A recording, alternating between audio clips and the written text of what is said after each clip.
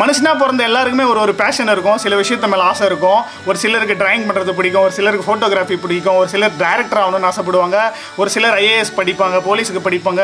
எத்தனையோ கனவுகளோட நிறைய பேர் சுற்றிட்டு இருப்பாங்க. என்ன மாதிரி? நானும் அதே மாதிரி ஒரு மிடில் கிளாஸ் பையனாக இருந்து நிறைய விஷயத்துக்கு ஆசைப்பட்டேன். அந்த விஷயத்தெல்லாம் அடைய முடியுமா அடைய முடியாதான்னு கூட எனக்கு தெரியாது. பட் நம்ம உண்மையாக போராடினா அந்த விஷயம் கிடைக்கின்ற நம்பிக்கை மட்டும் எனக்கு இருந்துச்சு. ஸோ நான் போராடி எப்படி இந்த இடத்துக்கு வந்தேன்ற ஒரு சின்ன ஸ்டோரியை தான் சொல்ல போகிறேன் அப்போ வந்து ஒரு கட்டத்தில் நான் ஸ்விக்கி டெலிவரி பாய் வேலைக்கு போயிடலாம் வீட்டில் வந்து ஏதாவது வேறு சாஃப்ட்வேர் கம்பெனியில் வேலை செய்யணும்னு சொல்லிட்டு நம்ம டெலிவரி வேலை செஞ்சுட்டு யூடியூப் மெயின்டைன் பண்ணிக்கலாம் ஈஸியாக இருக்கும் அப்படின்ற ஒரு மைண்ட் செட்டுக்கு வந்துட்டேன். அந்த டைமில் தான் ஒரு முக்கியமான பர்சன் என்னோட ஸ்டோரியில் என்ட்ரி கொடுக்குறாரு.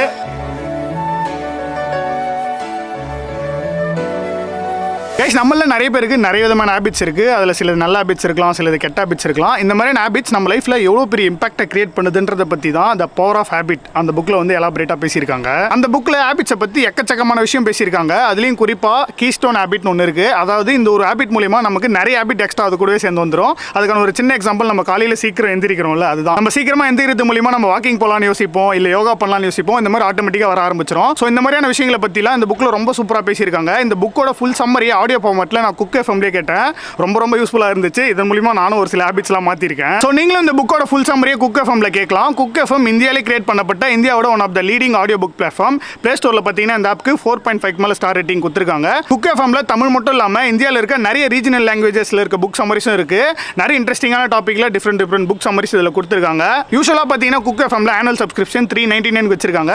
பட் நம்ம சிம்பிள் சேர சேனல் சப்ஸ்கிரைபர்ஸ்க்கு ஒரு ப்ரோமோ கோட் இருக்குது எஸ்எஸ்ஆர் ஃபிஃப்டி இந்த ப்ரோமோ கோட் நீங்கள் யூஸ் பண்ணீங்கன்னா உங்களுக்கு அது ஃபிஃப்டி பர்சன்டேஜ் ஆஃபர்லேயே கிடைக்கும். ஸோ கைஸ் உடனே டவுன்லோட் பண்ணுங்கள் ஏன்னா இந்த ஆஃபர் ஃபஸ்ட்டு டூ ஃபிஃப்டி மெம்பர்ஸ்க்கு மட்டும் தான் நீங்களும் குக் எஃப்எம் டவுன்லோட் பண்ணி நிறைய இன்ட்ரெஸ்டிங்கான புக் சம்மரிஸை தமிழ்லேயே ஆடியோ ஃபார்மேட்டில் கேட்டு என்ஜாய் பண்ணுங்கள் அந்த டைமில் ஹெல்ப் பண்ணது வேறு யாரும் இல்லை. நம்மளோட சப்ஸ்கிரைபர் ப்ரோ ஒருத்தர் தான் எனக்கு ஹெல்ப் பண்ணாரு. ப்ரோ கொஞ்சம் வாங்க ப்ரோ கைஸ் ஒரு நிமிஷம் வந்து நீங்கள் ஷாக் ஆகிட்டுப்பீங்க என்னடா சப்ஸ்கிரைபர் சொன்னோடனே இந்த குண்டு குழந்தை இவன் வரான்னு சொல்லிட்டு. ஆக்சுவலாக ஸ்டோரி சொல்கிறதுனா ஒரு சின்ன எக்ஸாம்பிள் ஒன்று சொல்லிடுறேன். இந்த குஷி படத்தில் எப்படி விஜயும் ஜோதிகாவும் எங்கேயோ இருந்து எந்த ஒரு இடத்துல கனெக்ட் ஆவாங்களே அது மாதிரி ஆக்சுவலாக நான் ஒரு காலேஜில் ஒன்று படித்தேன் அந்த காலேஜ் போய் சொல்ல விரும்பல. ஸோ அந்த காலேஜில் நான் படித்து வெளியே வரேன். அப்போ தான் அந்த காலேஜில் ஒரு ஹெச்ஆராக போயிட்டு கொஞ்ச நாள் வேலை செஞ்சு வரான். ஸோ அப்படியே அது அது அப்படியே முடிஞ்சுது. நான் ஒரு டீ கடையில் வருவேன் இவனும் ஒரு டீ கடைக்கு வருவோம் அது வந்து நாங்கள் அப்போ யாருமே பார்த்துக்கல.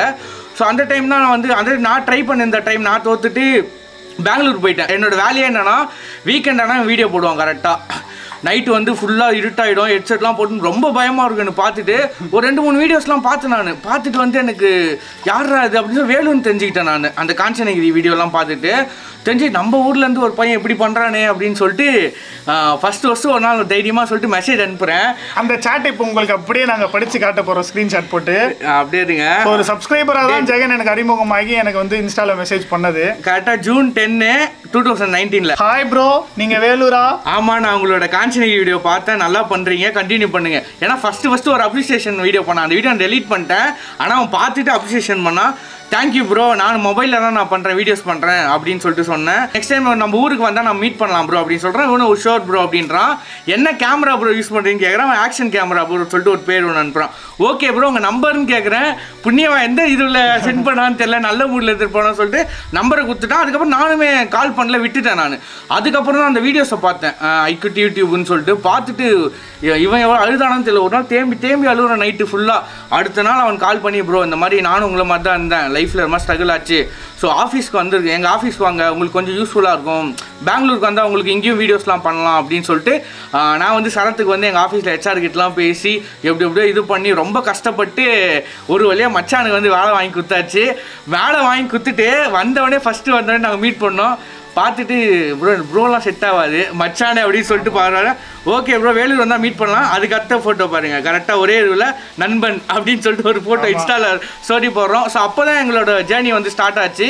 ஸோ அப்படியே ஜேர்னி ஸ்டார்ட் ஆகி ஒரு ஆறு மாதம் வந்து சரத் வந்து என்னை கூப்பிடுவான். டே வாடா வீடியோக்கு என்ன வா. எனக்கு என்ன ஹெல்ப் பண்ணு அப்படின்வான் பட் எனக்கு அந்த டைம் சத்தியமாக சொல்கிறேன் இப்போ எவ்வளோ பயப்படுறேன்னா அப்போ இன்னும் எவ்வளோ பயந்துருப்போம் பாருங்க. அதெல்லாம் ஃபேமிலி சுச்சுவேஷன் கொஞ்சம் இருந்தனால என்னால் வர முடியல. அப்பயே என்கிட்ட சொல்லுவான். நீ இந்த கோஸ்ட் வீடியோஸ் தான் வரமாட்ற. ஃபுட் வீடியோ பண்ணு வேற ட்ராவல் வீடியோ பண்ணு உனக்குள்ள பேச்சு திறமை ஏதோ இருக்கு காமெடியாக பண்ற அப்படின்னு சொல்லிட்டே இருப்பான். நான் வந்து அது கண்டுக்கவே இல்லை நான் ஆக்சுவலாக அதை விட்டுட்டேன் நான். பெங்களூருக்கும் நான் போனதே இல்லை. அதுதான் ஃபர்ஸ்ட் டைம் இவன் வந்து எனக்கு மெசேஜ் பண்ணுறான் இந்த மாதிரி இங்கே வேலை இருக்குது ப்ரோ நீங்கள் வாங்கன்னு சொல்லிட்டு இன்டர்வியூ எல்லாம் அட்டன் பண்ணேன். அதுவுமே வந்து ஒரு எடிட்டிங் ஜாப் தான் நான் செஞ்சது. யூடியூப்புக்காக நான் கற்றுக்கிட்ட ஒரு விஷயம் தான். அங்கேயும் எனக்கு ஹெல்ப் பண்ணுச்சு. அப்போ தான் நான் முடிவு பண்ணேன். யூடியூப் மட்டும் நம்ம விட்டுருவே கூடாது எந்த சுச்சுவேஷன் வந்தாலும். என் லைஃப்லேயே ஒரு கனெக்டான ஒரு விஷயமா நான் யூடியூப்பை பார்த்தேன். யூடியூப் மூலியமாக தான் என்னோட பொட்டன்ஷியல் என்னன்னு நான் தெரிஞ்சுக்க ஆரம்பித்தேன் ஏன்னா அதுக்கு முன்னாடி வரைக்கும் எனக்கு தெரியாது. ஒரு கண்டென்ட் கிரியேட்டராக இருக்க யூடியூபர்ஸ் எல்லாருக்குமே தெரியும். ஒரு வீடியோ ஷூட் பண்ணி எடிட் பண்ணி முடிச்சு அதை அப்லோட் பண்ண அப்புறம் அதை பார்த்து நாலு பேர் நல்லா இருக்குன்னு சொல்லும்போது அதில் ஒரு போதை வரும் பாருங்க. அது வேற எதுலையுமே கிடைக்காது. அது யூடியூபராக இருக்க ஒரு ஒருத்தரும் ஃபீல் பண்ணியிருப்பீங்க அதில் அவ்வளோ சந்தோஷத்தை எனக்கு கொடுக்கும். மறுபடியும் அகைன் என்னோட செகண்ட் இன்னிங்ஸை வந்து நான் பெங்களூரில் ஆரம்பிக்கிறேன். இதுக்கப்புறம் வந்து ஸ்டோரி கொஞ்சம் சு- சீக்கிரம் போய்டும்னு நினைக்கிறேன். அந்த டைமில் வந்து நான் எப்படி பண்ண போகிறேன் என்ன பண்ண போகிறேன்றதுலாம் தெரியாது. பட் கண்டிப்பாக நம்ம பண்ணணும். அதுவும் பே வீடியோ தான் பண்ணணும். அப்போ தான் நமக்கான ரீச் இருக்குன்றது நான் முடிவு பண்ணிட்டேன். ஏன்னா ஆடியன்ஸ் என்ன விரும்புகிறாங்களோ அதை கொடுக்குறது தான் ஒரு கிரியேட்டரோட வேலை. ஒரு ஒரு சேனலுக்கும் ஒரு ஒரு கண்டென்ட் இருக்கும். இப்போ ஃபுட் பிளாக்னா அவங்க ஃபுட்டில் எந்த அளவுக்கு எக்ஸ்ட்ரீமாக போய் பண்ண முடியுமோ அப்படி பண்ணுவாங்க. ட்ராவல் லாக்னா எங்கெல்லாம் நம்ம ட்ராவல் பண்ணி புதுசு புதுசான இடத்த காட்ட முடியும்னு யோசிப்பாங்க. நம்மளது வந்து பே கண்டென்ட்டு ஆடியன்ஸ்க்கு வந்து எந்த அளவுக்கு பெரிய பெரிய இடத்த ரிஸ்க்கான இடத்தெல்லாம் போய் எந்த அளவுக்கு நம்ம திருள்ள கொடுக்குறோமோ அந்த அளவுக்கு தான் நமக்கு ரீச் இருக்கும். அப்படின்றது எனக்கு ஸ்டார்டிங்லேயே தெரிஞ்சிருச்சு. ஏன்னா நம்ம கஷ்டப்பட்டால் தான் ஆடியன்ஸ் என்ஜாய் பண்ணுவாங்க. நம்ம பயந்து நம்ம உயிரை பணைய வச்சாதான் ஆடியன்ஸ் அதை பார்த்து என்ஜாய் பண்ணுவாங்க நம்ம சப்ஸ்கிரைப் பண்ணுவாங்க சப்போர்ட் பண்ணுவாங்க அப்படின்லாம் நான் உணர ஆரம்பித்தேன் எண்ட் ஆஃப் த டே வந்து நம்ம போடுற கஷ்டம் நம்ம போடுற எஃபர்ட் யாருக்கும் தெரியாது. ரெண்டாவது ஆஃப் அவங்க பார்க்குறது அந்த வீடியோ நமக்கு வந்து என்டர்டெய்னிங்காக இருந்துச்சா? ஒரு அரை மணி நேரம் வேஸ்ட் பண்ணாமல் பார்த்தோமான்ற மாதிரி தான் இருக்கும். ஸோ வந்து அப்போ தான் வந்து நான் முடிவு பண்ணேன். அந்த டைமில் தான் நான் ஒர்க் பண்ண ஆஃபீஸில் என் பக்கத்தில் டேபிள் போட்டு ஒருத்தர் உட்காந்துட்டு இருந்தார். என்னை இப்படியே குறுக்குறுன்னு பார்த்துட்டே இருக்காரு. இவன் ஏன் நம்மள இப்படியே பார்த்துட்டு இருக்கா நான் பார்க்குறேன். ப்ரோ நீங்கள் சரத் ப்ரோ தானே? நான் உங்கள் சப்ஸ்கிரைபர் ப்ரோ அப்படின்னு சொல்லி ஒருத்தர் எனக்கு இன்ட்ரோ ஆனார். அவர் தான் நம்ம ஃபயாஸ் ஃபயாஸ் ஃபஸ்ட் டைம் நான் வந்து அப்படி தான் மீட் பண்ணது. அப்புறம் வந்து ஃபயாஸ் என்கிட்ட சொன்னார் ப்ரோ நானும் ஒரு சேனல் வச்சுருக்கேன். எனக்கும் சப்ஸ்கிரைபர்ஸ்லாம் இல்லை. நீங்கள் கொஞ்சம் ப்ரொமோட் பண்ணிங்கன்னா நானும் கொஞ்சம் அப்படியே மேலே வந்துடுவேன் அந்த மாதிரிலாம் கேட்டிருந்தாரு. ப்ரோ நான் பண்ணுற வீடியோ ரொம்ப ரிஸ்க்காக இருக்கும். நீங்கள் பண்ணுவீங்களா? நான் கேட்டேன். அந்த டைமில் ஃபயாஸ் நான் ரொம்ப ரொம்ப பயந்தாங்கொல்லி ப்ரோ என்னால் பண்ண முடியாது. அப்போ வந்து நான் ஃபயாஸ்க்கு மோட்டிவேட் பண்ணேன். ப்ரோ இது உங்களுக்கு நல்ல சான்ஸு நீங்கள் இதில் வந்தீங்கன்னா உங்களுக்கும் ஒரு ரீச் இருக்கும். எனக்கும் ஒரு ஹெல்ப் இருக்கும். உங்களால் முடியுமா? அப்படின்னு நான் கேட்டப்போ ஃபயாஸ் ஓகே நான் பண்ணுறேன் அப்படின்னு வந்தார். ஃபஸ்ட்டு ஃபஸ்ட்டு நான் பெங்களூர் வந்து பண்ண வீடியோ நானும் ஃபயாஸும் பண்ண அந்த கல்பள்ளி சிமெண்ட்ரி வீடியோ தான். ஸோ அந்த ஃபஸ்ட்டு வீடியோ பண்ண அப்புறம் நானும் ஃபயாஸும் நிறைய வீடியோ பெங்களூர்லேயே பண்ண ஆரம்பித்தோம் ரொம்ப நல்லா ஸ்மூத்தாக போயிட்டு இருந்துச்சு. ரொம்ப பெரிய ரீச் இல்லைனாலும் ஒரு கிராஜுவலான ரீச் இருந்துகிட்டே தான் இருந்துச்சு. எனக்கு அந்த டைமில் வந்து எந்த விதமான ப்ரெஷருமே கிடையாது. ஏன்னா நான் ஓரளவுக்கு சம்பாதிக்கிறேன். வீட்லேயும் என்ன எதுவும் கேட்கல. வீட்லேயும் நான் சாட்டிஸ்ஃபை பண்ணிட்டேன். நான் என்னோட ஜாப்லேயும் எனக்கு சாட்டிஸ்ஃபை இருந்துச்சு. யூடியூப்ல வந்து எனக்கு காசு வரல அந்த டைமில் ஆனஸ்ட்டாக சொல்ல போனால் காசு வரலனாலும் நமக்கு பிடிச்ச வேலையை நம்ம சந்தோஷமாக செய்யணுன்ற ஒரு ஜாலி மட்டும் இருந்துச்சு. அங்கேயுமே வந்து நிறைய பிரச்சனை வரும். தெரியாத லாங்குவேஜ் தெரியாத ஒரு எப்படி இருக்கும்? ரொம்ப கஷ்டமாக தான் இருந்துச்சு அங்கேயும். அதெல்லாம் மீறி எப்படி எப்படியோ எது எப்படியோ பண்ணி அந்த அந்த ஸ்டேஜ் வந்து நம்ம கடந்துட்டோம். அதுக்கப்புறம் தான் வந்து லாக்டவுன் வந்துச்சு. லாக்டவுன் வந்தோடனே நான் மறுபடியும் இங்கே ஊருக்கு வந்துட்டேன். ஃபயாஸ் வந்து கரூருக்கு போயிட்டாரு. அப்புறம் வந்து மறுபடியும் ஒரு புது சேஞ்ச் நம்ம சேனல் நடக்குது. அந்த டைமில் தான் நான் இன்னொரு ஒருத்தனை பார்த்தேன். அவனும் ஒரு சப்ஸ்கிரைபர் தான் நம்ம சேனலுக்கு ப்ரோ கொஞ்சம் வாங்க. சப்ஸ்கிரைபர் ப்ரோ கொஞ்சம் வாங்க.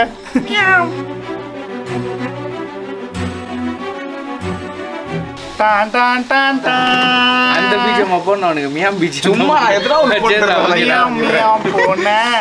ராகுல் ஃபர்ஸ்ட் உன்னோட இன்ஸ்டா ஓபன் பண்ணு. கைஸ் ராகுலுமே வந்து இன்ஸ்டா மூலியமா தான் வந்து எனக்கு தெரிய ஆரம்பிச்சது. ஸோ எல்லாமே வந்து பார்த்தீங்கன்னா ஒரு ஒரு ஒரு வட்டம் மாதிரி வாழ்க்கை ஒரு வட்டம் டாடுவாங்களே அந்த மாதிரி தான். Guys one one more thing என்னடா எல்லாரும் இன்ஸ்டால தான் இவனுக்கு கனெக்ட் ஆயிருக்காங்களேன்னு நினைச்சு நீங்களும் இன்ஸ்டால மெசேஜ் பண்ணா நம்மளும் கனெக்ட் ஆயிடலாம்னு நினைக்காதீங்க. அந்த டைம்ல வந்து எனக்கு ரொம்ப ரொம்ப ஃபாலோவர்ஸ்லாம் கம்மியாக இருந்தாங்க. எல்லா மெசேஜும் பார்த்து என்னால் ரெஸ்பான்ஸ் பண்ண முடிக்கிற ஸ்டேஜில் நான் இருந்தேன்.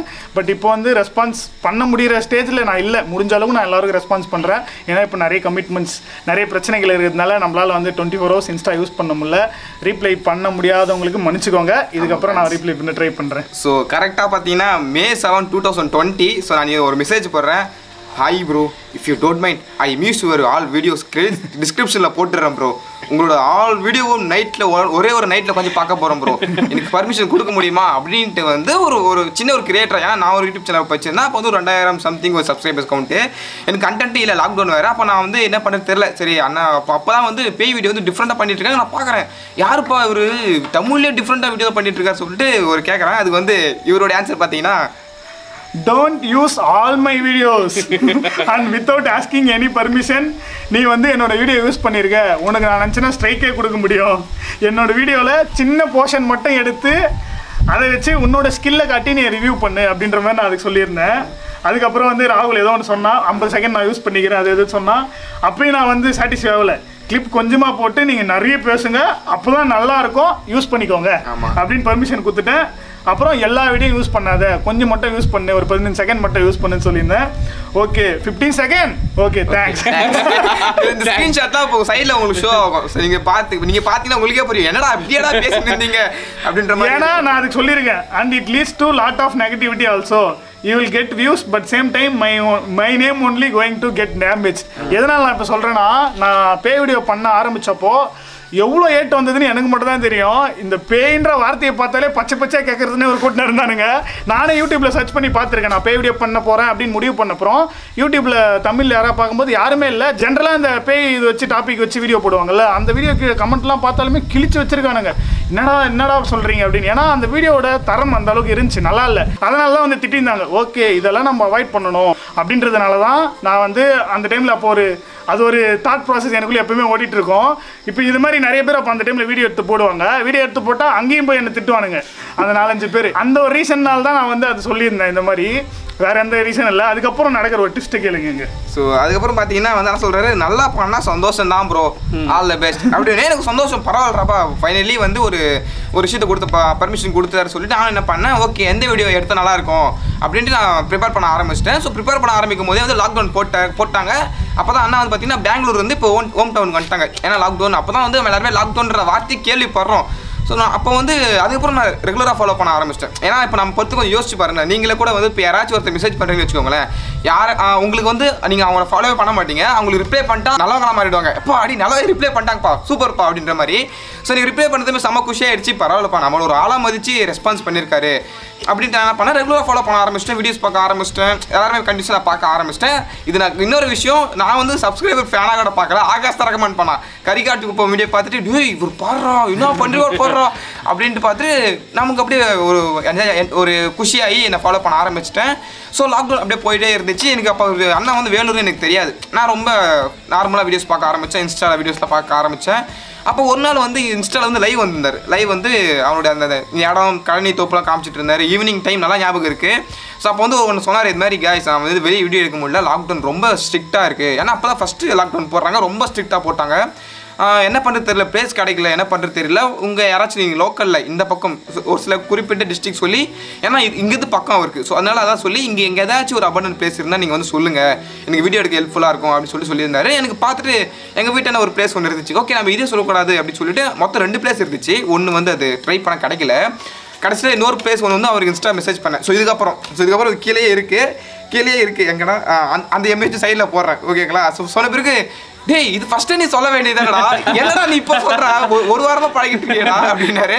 நான் இல்லைண்ணா நான் இப்போதான் லைவ் பார்த்தேன்னா லைவ் பார்த்துட்டு நீங்க இந்த வார்த்தை சொல்லியிருந்தீங்க. ஸோ அதனால தான் எனக்கு சடன்லி ஏன்னா அந்த டைம்ல வந்து எனக்கு லொகேஷன் தட்டுப்பாடு. லொகேஷனே கிடைக்காது. எவனாவது நமக்கு லொகேஷன் சொல்ற மாட்டானான்னு ஏங்கிட்டு இருப்பேன் அந்த டைம்ல அவ்வளோ பேசிட்டு லாஸ்டா சொல்றான். எங்க ஊர்ல ஒரு லொகேஷன் இருக்குண்ணா அப்படின்னு ஏன்டா இதை ஃபர்ஸ்டே சொல்லியிருந்தா நான் அப்பயே பேசியிருப்பேனே அப்படின்னு சொல்லிட்டு ராகுல் லொகேஷன் கொடுக்குறான். சொன்ன மறுநாளே நான் கிளம்பிட்டேன். நேரா ராகுலை வந்து அவங்க வீட்டில் தான் மீட் பண்றேன். அப்பயுமே ராகுல் வந்து நானா எங்க வீட்லயும் அம்மா பர்மிஷன் கொடுக்க மாட்டாங்கண்ணா நீங்க வந்து ஒரு வார்த்தை சொல்லணும்ண்ணா அப்படின்னு சொல்லும்போது நான் வந்து அப்பதான் ராகுலோட அம்மாவை மீட் பண்றேன். மீட் பண்ணி ராகுல் வீடியோ நான் அப்போ பார்த்ததே இல்லை. பட் இருந்தாலும் அம்மா கிட்ட சொல்றேன் ஒரு நம்பிக்கையில்.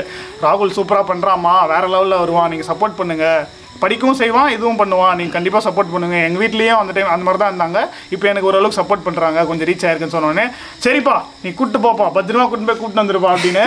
இந்த நேரத்தில் வந்து நான் என் டீம்மேட்டில் இருக்க எல்லாரோட அப்பா அம்மாவுக்கும் நன்றி சொல்லவும் நான் கடமைப்பட்டிருக்கேன். ஏன்னா என்னை நம்பி அவ்வளோ ரிஸ்கான இடத்துக்கெல்லாம் அனுப்புறதுக்கும் ஒரு மனசு வேணும். மா வீடியோ பார்ப்பீங்க. தேங்க்யூ ஓகே ஸோ அப்படியே வந்து ஏன்னா ஃபர்ஸ்ட் டைம் நான் வந்து வெளியே போகிறேன் நான் நார்மலாக வீட்டில் வந்து பயங்கர ஒரு ஹேட்டு ஏன்னா என்ன தேவையில்லாத பொழப்பு கற்றுட்டு இருக்கான். தேவை டைம் வேஸ்ட் பண்ணிட்டு இருக்கான். அது அது இதெல்லாம் கூட பரவாயில்ல. எங்கள் அம்மா பேசுறத கூட மன்னிச்சு விட்டுலாம் இந்த தெருவில் நாலு பேர் இந்த ஊரில் சொந்தக்காரங்க நாலு பேர். என்னம்மா பையன் பொழப்பு லைஃபை எடுத்துக்கிறாமா அப்படின்னு சொல்லி எங்கள் அம்மா உசுப்பேற்றி விட்டுருவாங்க. எங்கள் அம்மா அப்படியே தாய் தக்கன்னு குதிச்சு ஃபோனெல்லாம் எடுத்து வீடியோ கூட எடுக்க முடியாது. அப்போ நான் ஃபோன் யூஸ் பண்ணிட்டு இருந்தேன். ஸோ அந்த மாதிரியான ஒரு டைமில் வந்து சரத்தனை வந்து வீடியோ எடுத்து நான் வெளியே கூட்டிட்டு போகிறாங்க தைரியமாக இருங்க. நான் கூட்டு போய் கூட்டு வந்துடணும்னு எங்கள் அம்மாவுக்கு ஷாக் ஒன்றுமே புரியல. அப்புறம் நான் எங்கள் அம்மா கையில் காலில் வந்து இங்கே பாருமா ஒரு லட்சத்தி நாற்பத்தெட்டாயிரம் சப்ஸ்கிரைபர் இருக்குமா ஒரு சேனலில் நான் போனால் கெத்துமா மாசுமா அப்படி எதுவும் சொல்லி நான் வெளியே வந்துட்டேன். வெளியே வந்து நைட்டு நாங்கள் வீடியோ எடுத்துக்கு போயிட்டோம். ஒரு யாருக்குமே கிடைக்காத ஒரு ஃபஸ்ட் டைம் எக்ஸ்பீரியன்ஸ் நான் வந்து பைக் பைக் பாதுகாப்புக்கு நான் என்ன பண்ணிருந்தேன்னா வெளியே இருந்தேன். இவர் மட்டும் வீடியோ எடுத்துக்கு உள்ளே போயிட்டாரு. ஸோ அந்த மாதிரி ஒரு சான்ஸ் கிடைக்குது. எனக்கு சடன்லி ஒரு ஃப்ராக்ஷனாக ஒரு டூ டேஸில் டக்கு டக்குன்னு முடிவு பண்ணி ஒரு கூட்டும் போயிட்டாரு. நான் எதிர்பார்க்கல சீரியஸாகவே ஃபர்ஸ்ட் நாள் முடிஞ்சுட்டு நல்லா ஞாபகம் இருக்குது அந்த நைட்டு நான் உள்ள வீடியோ எடுக்க போகல பட் அந்த அந்த இடத்துல எப்படியா என்ன ஆச்சு சொல்லணும் அதே ஞாபகம் இருக்குது நான் எல்லாம் முடிச்சுட்டு நான் ஒரே ஒரு ஃபோட்டோ மட்டும் எடுத்துக்கிட்டேன். அந்த அந்த ஃபோட்டோ இப்போ வரைக்கும் இன்ஸ்டாவில் ஸ்டார் போட்டு வச்சுருப்பேன். ஸோ அது இப்போ பார்த்தா கூட என்னதான் ஆச்சுன்ற மாதிரி இருக்குது ஸோ எல்லாம் முடிச்சுட்டு வந்து அரண்மனை பார்ட் டூ பார்ட் டூ எடுக்கிறப்ப வந்து நிஜமா எதிர்பார்க்கல. நான் எதனால இல்லை கூட்டு கூப்பிட்டு போனேன் ஆக்சுவலாக வந்து ராகுலோட ஹிஸ்ட்ரி அதுக்கப்புறம் தான் எஸ்டிடியை கேட்க ஆரம்பித்தேன் நான். அப்போ வந்து ராகுல் ஏகப்பட்ட வீடியோஸ் போட்டிருக்கான். சேனல் நான் ஒரு நாள் ஃபுல்லாக உட்காந்து ராகுலை அனலைஸ் பண்ணுறேன் என்னடா இந்த பையன் இவ்வளோ சின்ன வயசுல இவ்வளோ எஃபோர்ட் போட்டு பண்ணியிருக்கான். இந்த மாதிரி பசங்க தான் நம்ம வாய்ப்பு கொடுக்கணும்னு நான் முடிவு பண்ணேன். ஏன்னா நானுமே கஷ்டப்படும் போது எனக்கு வந்து யாரும் ஹெல்ப் பண்ணுறதுக்கு யாரும் இல்லை. ஒரு லைட்டாக ஒரு மோட்டிவேட் பண்ணுறது கூட யாரும் இல்லை. இந்த மீடியா ஃபீல்டில் சொல்கிறேன் சில ஃப்ரெண்ட்ஸ் இருந்தாங்க பட் இந்த ஃபீல்டில் எனக்கு யாருமே இல்லை உதவி பண்ணுறதுக்கு அந்த டைமில் ராகுலை பார்க்கும்போது நான் ரொம்ப ஆச்சரியப்பட்டேன். இந்த சின்ன வயசுலேயே இவ்வளோ எஃபோர்ட் போட்டு வீடியோ பண்ணியிருக்கானே பண்ணியிருக்கானே அப்படின்னு நினச்சி நான் ரொம்ப சந்தோஷப்பட்டேன். வீடியோ நல்லா இருக்குது நல்லா இல்லை வியூஸ் போயிருக்கு வியூஸ் போகல அதெல்லாமே செகண்டரி பட் அவன் கிரவுண்டில் இறங்கி களத்தில் இறங்கி ஏதோ ஒரு விஷயத்தை ட்ரை பண்ணியிருக்கான். அதுவே ஒரு பெரிய விஷயம். அன்றைக்கி தான் நான் முடிவு பண்ணேன். ராகுலுக்கு வந்து டேலண்ட் இருக்குது ராகுல் இதை பண்ணுவான் அது பண்ணுவான்லாம் எனக்கு தெரியாது. பட் ஏதோ ஒரு நம்பிக்கை. அவன் நல்லா பண்ணுறானோ இல்லையோ நம்ம நம்மளால முடிஞ்சது ஒரு சின்ன சான்ஸ் நம்ம கொடுப்போம். அப்படின்னு சொல்லிட்டு நான் ஒரு வீடியோக்கு ஒன்று கேட்டிருந்தேன். இந்த மாதிரி ரிஸ்க்காக இருக்கும். இதெல்லாம் ஓகேவா அதெல்லாம் கேட்டுட்டு சொன்னேன். பிரச்சனை இல்லைண்ணா. நான் வரேன் அப்படின்னு சொன்னா அந்த டைம்ல தான் வந்து இன்னொருத்தர் வந்து இன்டர்வியூ ஆவாரு. ஆமா. அவரு வந்து இப்போ ஒரு அவரும் சப்ஸ்கிரைப் பண்ணார் அவர் அடுத்த வீடியோலே உடனே என்ட்ரி வேற லெவல் அது. வாங்க ப்ரோ வாங்க வாங்க. பிராண்ட் கைஸ் முன்னாத்துக்கு முந்தா லுங்கி வச்சு தூங்கி இருந்தேன் கரெக்டாக இப்போ தான் போட்டாங்க வாடா உன் போஸ்ட் வருதுடா அப்படின்னு. அப்படியே மூஞ்சி இருந்தோம் உட்கார ஃப்ரெண்ட்ஸ் ஆக்சுவலாக நான் வந்து இந்த கதை எங்கேருந்து ஆரம்பிக்கலாம் அப்படின்னா நான் சென்னையில் வந்து ஒர்க் இருந்தேன் ஆஹ் ஒரு சிக்ஸ் மந்த்ஸ் இருக்கும். அப்போது ஒர்க் பண்ணிட்டு இருக்கும்போது திடீர்னு நாள் வந்து வாக்கிங் சாப்பிட்டு வாக்கிங் போவேன். போயிட்டே இருக்கும்போது திடீர்னு வந்து ஒரு வீடியோ சஜஷன் வருது. கரிகாட்டுக்கு பக்கத்தில் நம்ம சரப்புறம் அந்த வீடியோ பார்த்த உடனே எனக்கு அப்படியே கிரவுண்டில் யாருமே இல்லையா? பயத்தில் நேரம் ரூம் போய் பத்துட்டு நான். ஏன்னா அவ்வளோ பயம். நான் ஃபஸ்ட்டு ரொம்ப பயந்தது நான் அப்போ தான் பயப்படுறேன். பயந்து போய் டக்கு அப்போயே டக்கு நான் ஃபோன் பண்ணிட்டேன். ஏன்னா அந்த டைமில் வந்து நான் தனியாக இருக்கும்போது என்ன ஆகும்னா அந்த அளவுக்கு க்ளோஸாக யார்கிட்ட பழகலை அந்த டைமில் ஏன்னா நான் வந்து ஆஹ், அந்த அளவுக்கு நான் ஊருக்கார பையன் அவங்க பற்றியா அப்படி தான் நானும் ராகுல்லாம் சின்ன வயசுலேருந்து கவர்மெண்ட் ஸ்கூல்லே படித்து கவர்மெண்ட் காலேஜ்லேயே ப படிச்சுட்டு அப்படியே நான் வந்துட்டேன். பெருசாக அந்த அளவுக்கு எனக்கு நாலேஜ் கிடையாது. நான் ஓப்பனாக சொல்லிக்கிறேன். அது ஏன்னா அதான் நான் எனக்கு சொல்கிறதுல இந்த டைம் கிடையாது. ஸோ அப்படி இருக்கும்போது எல்லாருமே அதான். ஆமா. பட் நான் ராகுல் ராகுல் சொல்றேன் ராகுல் இந்த மாதிரி நான் ஒரு- ஒரு வீடியோ பார்த்துட்டுனா எனக்கு வந்து ரொம்ப இன்னுமே எனக்கு ஹார்ட் பீட் துடிச்சுக்கிட்டே இருக்குடா. நீ அந்த வீடியோ பாரு சத்தியமாக நீ வந்து பார்த்தீங்கன்னா உனக்கு ஏன்னா அப்போ தான் ராகுல் வந்து பயங்கரமான ஒரு யூடியூப் அடிமை. அதாவது அவன் வந்து நான் ஓப்பனாக சொல்கிறேன் எம்ஜி தான் ஃபஸ்ட்டு ஃபஸ்ட்டு வந்து தட்டி தூக்கணும் வந்து ராகுல. அதாவது எப்படின்னா நான் நல்லா ஞாபகம் இருக்குது நான் வந்து அப்போ காலேஜ் படிச்சுட்டு இருக்கேன். ராகுல் வந்து ஸ்கூல் டைமில் கட்டஸ்ட் வந்து ஸ்கூலுக்கு போகாமல் லீவ் போட்டு உடம்பு சரியில்லை லீவ் போட்டு வந்து எம்ஜி ப்ரோ மாதிரி வீடியோ எடுத்துகிட்டு இருப்பான். அதாவது அவ- அவ- அவன் டெய்லி ரொட்டீனுங்க அது அந்த மாதிரி இருந்தா ராகுல். யூடியூபராக இருந்தால் ஆசையே. ஸோ அப்படி இருக்கும்போது நீ பாடுறா சொல்லிட்டு அமுச்சு விட்டேன். அப்படியே ராகுல் தொடர்ந்து பார்க்க ஆரம்பிச்சிட்டான். அதே மாதிரி நானும் தொடர்ந்து பார்க்க ஆரம்பிச்சிட்டேன். ஸோ எத்தனை கோடி பேர் எத்தனை லட்சம் பேர் அந்த- அந்த வீடியோ பார்த்துருப்பீங்க? அத்தனை லட்சம் பேர்ல நானும் ஒருத்தன் ராகுலும் ஒருத்தன். பட் ஆனால் இப்போ வந்து ப்ரோ கூட உட்காந்து பேசிட்டு இருக்கு நினைக்கும் போது எனக்கு வந்து அந்த மேஜிக் மூமெண்ட் இங்கே வந்து அதான் ஒரு பட்டர்ஃப்ளை எஃபெக்ட்னு சொல்லுவாங்க. ஏதோ ஒரு விஷயம் யாரோ ஒருத்தர் பண்ணி அது மூலம் இன்னொருத்தர் லைஃப் மாறணுவாங்க பார்த்தியா அதுதான் வந்து என் லைஃப்பில் அவங்க லைஃப் மாறிருக்குன்னு நினைக்கிறேன் நான். ஸோ அப்படியே போயிட்டே இருந்துச்சு. அப்புறம் பார்த்தா திடீர்னு சர்ப்ரைஸ் கொரோனா வந்துச்சு. கோவிடால் வீட்டுக்கு வரும்போது சடனாக ராகு சொல்கிறா டேய் சடப்பு நம்ம வீட்டுக்கு வராலும் போது ஷாக் ஆகிட்டேன் ஃபஸ்ட் டைம் வந்து நான் ப்ரோ வரும்போது நான் வந்து கோட் அடிச்சிட்டு இருக்கேன். நான் வந்து ஒரு ஃப்ரண்ட் டெவலப்பர் இருந்தப்போ நான். இப்போலாம் பண்ணுமா பணம்லாம் தெரில மறந்து போயிடுச்சு. அப்போ ஃபஸ்ட் டைம் ப்ரோ உள்ள வராரு. செம்ம ஷாக்கு பிரச்சனை. தான் நம்பவே மாட்டேன். நம்பவே முடியல அதை. அப்பட்டாக்க ப்ரோ உடனே போயிட்டாரு. செகண்ட் டைம் தான் ராகுலுக்கு தோஸ்தை நான் உள்ள போறேன். ஆமாமா சொல்றேன். எப்படின்னா ராகுல் வந்து தனியா அனுப்புறதுக்கு பயந்துட்டு ஏன்னா ஃபர்ஸ்ட் ஒரு வீடியோ எடுத்தோம். அந்த வீடியோவில் வந்து அவங்க வீட்டுக்கு பக்கத்துல இருந்ததுனால அம்மா தைரியமா அமிச்சிட்டாங்க. அதுக்கப்புறம் போற லொகேஷன் வந்து தூரம். ஸோ வந்து ஒரு பாடி கார்டு மாதிரி அனுப்புறாங்க அம்மா. ஆகாஷே ராகுல பத்திரமா பார்த்துக்கோ அப்படின்னு சொல்லிட்டு நானே நாங்கள் மூணு பேரும் வந்து அந்த ஹண்ட்ரட் ப்ளஸ்க்கு போயிட்டோம். அது ஒரு ஸ்கூல் ஆக்சுவலாக அங்கே தான் வந்து நான் ஆகாஷை ஃபர்ஸ்ட் டைம் பார்த்தேன். அப்போ பார்க்கும்போது நாங்கள் இன்ட்ரோலாம் பேசிகிட்டு இருந்தோம். எனக்கு இருந்தாலும் ஒரு பயம். ரெண்டே பேர் இருக்குமே இந்த இடம் வந்து ஒரு மாதிரி ரிஸ்க்காக இருக்கு அப்படின்னு சொல்லிட்டு உள்ள கொஞ்சம் தூரம் போயிட்ட அப்புறம் நான் வந்து சொல்கிறேன் ஆகாஷ் ப்ரோ நீங்களும் வாங்க. அப்படின்னு கேட்ட உடனே ஆகாஷ் ப்ரோ வராரு. அப்போ தான் நாங்கள் ஃபஸ்ட்டு மூணு பேர் காம்பினேஷனில் நாங்கள் வீடியோ பண்ணோம். அந்த வீடியோக்கு வந்து நிறைய பாசிட்டிவ் ரெஸ்பான்ஸ் இருந்துச்சு பயங்கரமாக இருந்துச்சு. ராகுல் வந்து ரன்னிங் ராகுலாக மாற ஆரம்பிச்சா ஆகாஷ் ஆவி ஆகாஷாக மாற ஆரம்பிச்சாரு. கொஞ்சம் கொஞ்சமாக எங்கள் வளர்ச்சி அங்கே எங்கள் மூணு பேரோட அந்த வேவ் லென்த் எல்லாம் செட் ஆகிட்டு வீடியோ ஓரளவுக்கு நல்லா போக ஆரம்பிச்சிட்டு அந்த டைமில் தான் ஜெகனும் அந்த டைமில் வந்து வேலை போயிடுச்சு ஆக்சுவலாக வேலை போயிடுச்சு. எனக்கும் போயிடுச்சு எனக்கு ஓரளவுக்கு யூடியூப் இப்போ கிளிக் ஆனதால ஓகே எங்கள் அம்மா கிட்ட நானும் கன்வின்ஸ் பண்ணேன். ஒரு மூணு மாதம் மட்டும் டைம் கொடுமா. நிறைய முறை இந்த மாதிரி கேட்டிருக்கேன் மூணு மாதம் இதுதான் நான் கேட்க போகிற லாஸ்ட் மூணு மாதம் இதில் கண்டிப்பாக மிஸ் ஆகாது. கண்டிப்பாக இதில் நான் வந்து அடிச்சு காட்டுறேன் அப்படின்ற மாதிரி ச சவால் விட்டேன். ஏன்னா எனக்கு நம்பிக்கை இருந்துச்சு. ஏன்னா அப்போவே எனக்கு ஒன்றும் இல்லாத அப்போவே தன்னம்பிக்கை அதிகமாக இருக்கும். இப்போ இந்த அளவுக்கு ஒரு ஒன்றரை லட்சம் சப்ஸ்கிரைபர்ஸ் இருக்கும்போது எவ்வளோ கான்ஃபிடென்ட் இருக்கும் எனக்கு? செம்ம கான்ஃபிடென்ட் இருந்துச்சு. நம்ம எப்படியா இருந்தாலும் இதை அச்சீவ் பண்ணாமல் விடவே கூடாது அப்படின்னு சொல்லி முடிவு பண்ணியிருந்தேன். அந்த டைமில் ஜெகனுக்கு வேலை போயிடுச்சு ஜெகனுக்கு சொல்லியிருந்தேன் நீ ஒரு யூடியூப் சேனல் ஆரம்பி உன்னால முடியும் அப்படின்னு சொல்லும்போது ஜெகனும் சேனல் ஆரம்பிச்சிருந்தான். ஸோ ஓகே மூணு பேராக இருக்கும். எக்ஸ்ட்ரா ஒருத்தர் இருந்தால் இன்னும் நல்லா இருக்கும்னு சொல்லிட்டு நான் ஜெகனை வந்து ஃபஸ்ட் டைம் ஒரு இடத்துக்கு கூட்டு போனேன். அது வந்து அக்கா சுடுகாடு. அதுதான் ஃபஸ்ட்டு ஃபஸ்ட்டு ஜெகனை நான் கூட்டு வந்தது. ஜெகன் வீட்டில் எனக்கு நல்ல ஞாபகம் இருக்குது ஜெகன் வீட்டுக்கு போகிறோம் ஜெகனோட அம்மா வந்து அது என்ன? எலுமிச்சம்பழம்லாம் வச்சு மந்திரிச்சு என்னென்னவோ பண்ணி ரொம்ப பயந்து அமிச்சாங்க. மறக்கவே முடியாது. தேங்க்ஸ்மா உங்களுக்கும் இந்த நேரத்தில் ரொம்ப நன்றி. காலைல கூட எனக்கு ஃபோன் பண்ணி விஷ் பண்ணிருந்தீங்க. ரொம்ப நன்றி. ஏன்னா நீங்களுமே மனசு வச்சு அனுப்பிச்சதுனால தான் என்னால் வந்து ஒரு ஃப்ரீடமாக பண்ண முடிஞ்சுது. அதுக்கப்புறம் நாங்கள் நாலு பேர் சேர ஆரம்பிச்ச அப்புறம் அதுக்கப்புறம் உங்களுக்கு என்ன நடந்திருக்குன்னு உங்களுக்கே தெரியும். அதுக்கப்புறம் நோ லுக்கிங் பேக் தான். அதுக்கப்புறம் எல்லா வீடியோவுமே நல்ல ஹிட்டு நல்ல ரெஸ்பான்ஸ் எல்லாருக்குமே தனித்தனி ஃபேன்ஸ் வர ஆரம்பிச்சாங்க. தொடர்ந்து சப்போர்ட் வந்துட்டே இருந்துச்சு. அந்த டைமில் அகைன் இந்த மாதிரியான எக்ஸ்டர்னல் ப்ரெஷர்ஸ் அதுக்கு முன்னாடி இருந்தே வந்துட்டு இருந்துச்சு. நான் முடிஞ்ச அளவுக்கு வீட்டுக்கு தெரியாமல் அதை பார்த்துப்பேன். அதுக்கப்புறம் தான் வந்து ஹெவியாக வர ஆரம்பிச்சிருச்சு. என்னை வந்து ஆல்மோஸ்ட் அரெஸ்ட் பண்ணிட்டாங்க. ஒரு இடத்துல வீடியோ வந்து அது அந்த விஷயத்தெல்லாம் நீங்கள் ஆல்ரெடி பார்த்துருப்பீங்க சொல்லியிருப்பேன். அப்புறம் தான் வந்து பேய் வீடியோவில் இவ்வளோ சேலஞ்சஸ் நமக்கு வரும். இதுக்கு எல்லாத்துக்குமே நம்ம ரெடியாக இருக்கணும்னு சொல்லிட்டு நான் நிறைய விஷயங்கள் எதெல்லாம் இதுலேருந்து தப்பிக்கிறதுக்கு என்னெல்லாம் பண்ணணும் அப்படின்னு சொல்லிட்டு நிறைய விஷயங்களை தெரிஞ்சுக்க ஆரம்பித்தேன் அதுக்கப்புறம் நிற்காம நாங்கள் இன்னி வரைக்கும் ஓடிட்டே தான் இருக்கோம். இதுக்கப்புறம் நான் நிற்க போகிறதில்ல ஓடிட்டே தான் இருப்போம். இந்த ஜேர்னியில் வந்து சில பேர்லாம் வந்தாங்க. சில பேர் வந்து என்னை ஒரு கருவியாக தான் பார்த்தாங்க. இவங்ககிட்ட ஒரு சப்ஸ்கிரைபர்ஸ் இருக்காங்க. இவனுக்குன்னு ஒரு ஃபேம் இருக்குது அது அவங்களுக்கு கிடைச்சிட்டோன்னே அவங்க பை சொல்லிட்டு போயிட்டாங்க. எனக்கு எந்த வருத்தமே கிடையாது. ஏன்னா நான் நிறைய துரோகத்தை பார்த்துருக்கேன். என் முதுகு பார்த்தா அவங்களுக்கு தெரியும். நிறைய குத்து வாங்கியிருக்கேன் நான் முதுகில். ஸோ அது வந்து எனக்கு புதுசு இல்லை. அதனால் எங்கே இருந்தாலும் சந்தோஷமாக இருக்கட்டும் அப்படின்னு சொல்லிட்டு நான் எதுவும் இக்னோர் பண்ணிட்டு அப்படியே விட்டுருவேன். அதுக்கப்புறம் அகைன் ரகுமான் ஸ்பூக்கி கௌதம் ஹரி அதுக்கப்புறம் இன்னும் சில பேர் கூட நான் வந்து ஒரு ஷவுட் அவுட் கொடுத்துருந்தேன். எல்லாருமே நல்லா பண்ணிட்டுருக்காங்க ரொம்ப ஹாப்பியாக இருக்குது அதே மாதிரி நான் கோஸ்ட் வீடியோஸ் பண்ண ஆரம்பி ஆரம்பிக்கும் போது எனக்கு வந்து எந்த விதமான சப்போர்ட்டும் கிடையாது எந்த விதமான ரெஃபரன்சஸும் கிடையாது. அதனால தான் நம்ம கண்டென்ட் வந்து இவ்வளோ யூனிக்காக இருக்கிறது காரணம். நான் எதுவுமே ரெஃபரன்ஸ் எதுவுமே இல்லாமல் நம்மளே ஒரு ஓன் ஸ்டைலில் பண்ணுறதுனால தான் நல்லா வந்துச்சு. எனக்கு இன்னும் கூட ஞாபகம் இருக்குது நான் ஸ்டார்டிங்கில் பே வீடியோ பண்ணும்போது போயிட்டு இங்கிலீஷ் சேனல் சில சேனல்லாம் சொல்லுவாங்க. அதெல்லாம் பாரு இதெல்லாம் ஒரு வீடியோன்னு போட்டுன்னு இருக்க. ஒன்றுமே இல்லை லைட் இல்லை கிளாரிட்டி இல்லை எதுவுமே இல்லை. எதுக்கு எங்கள் டைம் வேஸ்ட் பண்ணுற இது மாதிரி ஏகப்பட்ட நெகட்டிவ் காமெண்ட்ஸ் மட்டுமே தான் நான் பார்த்துருந்தேன். பட் ஆனால் நீ நான் நினச்சிருக்கேன் என்னைக்காவது ஒரு நாள் இங்கிலீஷ் காரணங்களோட நம்ம ஒரு பத்து படி மேலே போய் காட்டணும் அப்படின்னு நினச்சேன். அது இன்றைக்கி நடந்திருக்கு. அந்த மாதிரி ஒரு கமெண்ட் போட்ட அதே நபர் இந்த கமெண்ட்டையும் போட்டார். அப்போ தான் நான் சந்தோஷமாக இருந்தேன். இவங்கள்ட்டையும் காமிச்சிருக்காங்க ஏன்னா அது அவ்வளோ பெரிய சந்தோஷமான மூமெண்ட் இப்போ நான் மாற தட்டி ப்ரௌடாக சொல்லுவேன். எனக்கு தெரிஞ்சு இந்தியாவிலே இந்த அளவுக்கு ஒரு குவாலிட்டியான ஒரு பெஸ்ட்டு என்டர்டெய்னிங் கோஸ்ட் வீடியோஸ் கொடுக்குறதுல நம்ம தான் ஃபஸ்ட்டு இருப்போம். அதை நான் வந்து ப்ரௌடாக சொல்லுவேன். ஏன்னா அவ்வளோ எஃபோர்ட் போட்டு எடுக்கிறோம் ஒரு ஒரு வீடியோக்கு பின்னாடியும். இந்த டைமில் ஒரு முக்கியமான விஷயத்தை பற்றி உங்களுக்கு சொல்கிறேன் பொதுவாகவே நம்ம சேனல் மேலே ஒரு விமர்சனம் வைப்பாங்க.